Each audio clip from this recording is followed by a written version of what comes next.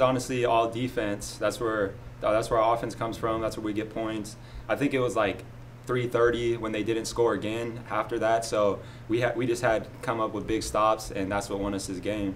I was just really big and physical, and uh, we had some adjustments we covered a shoot around today that we felt like uh, were going to be really important to generate some points. We got those right where we wanted them at the end, um, and those were big time. And then we, we changed our post coverage a little bit as well, uh, and then we closed like that. And so um, anytime you can get the last run of the game, that's a pretty good sign for you.